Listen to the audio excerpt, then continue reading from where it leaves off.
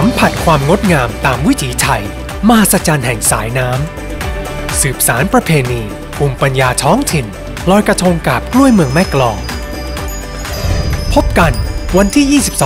22-23 พฤศจิกายนนี้ที่จังหวัดสมุทรสงคราม จัดโดย